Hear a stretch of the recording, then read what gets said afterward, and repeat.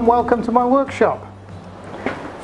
So today what I'm going to do, because it's, it's a, going to be a really stormy day and uh, so the, the sound quality is not going to be really very good.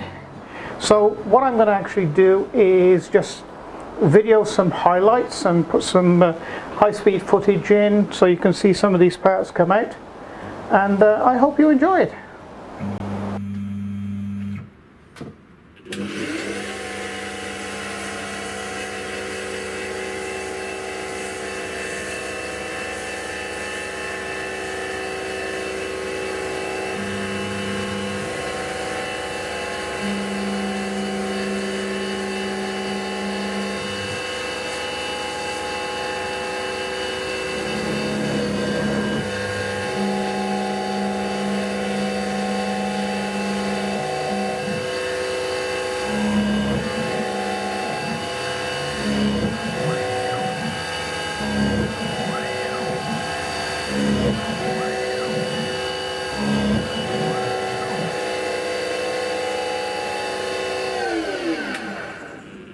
that was real time and you notice I speeded it up from the first one up to 100%.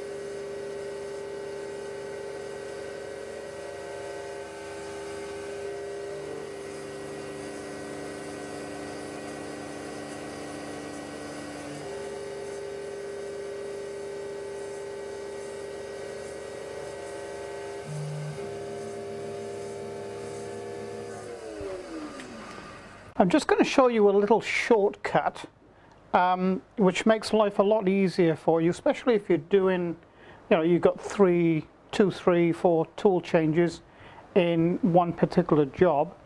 You, know, you just got to sort of be aware of what you are actually doing. Now I've just run the toolpath which used this 2 millimeter tapered ball mill uh, to cut an oil groove. So I've taken that tool out and my next and I've, I've actually put my and I've put my next code in which is the cutout code because they're two separate parts. Uh, and I'm going to do that with my 8 millimeter. Now to very very easily set up the Z0 because the XY0 doesn't change throughout the job I'll show you a little trick.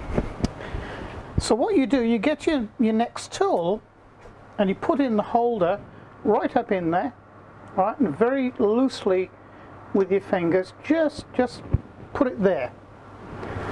All right then you go to Mach 3 and I'll take you there live.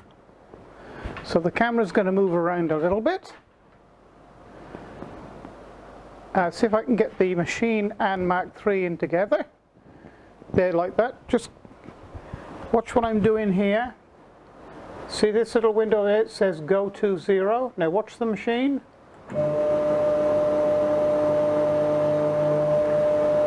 Okay, it's zeroed out to its last zero.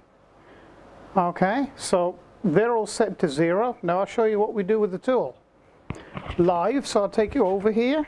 Sorry if it's jiggling around. So what you do just catch out of the tool.